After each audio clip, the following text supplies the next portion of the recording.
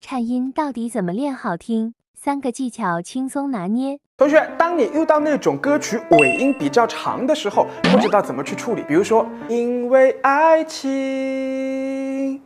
会轻易悲伤，感觉一直拉长音呢，又不是那么的好听。所以今天阿梦老师教你一个尾音处理的方法，就是通过颤音来进行点缀。颤音呢，就是指的音和音之间来回的变化，或者是说颤动。想要练好颤音的话，首先我们需要找到横膈膜发力的点。最好的方法，我们可以先练狗哈气。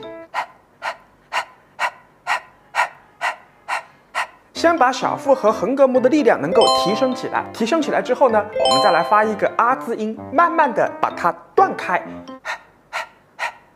哈哈哈哈哈哈哈哈哈哈，感受横膈膜的发力。然后第三一步呢，我们再一口气发一个啊字音，然后再匀速的把它断开，啊啊。速度的快和慢可以根据歌曲的速度快慢来进行决定哦。这样的话，你就能够轻松的学会并且掌握颤音的使用啦。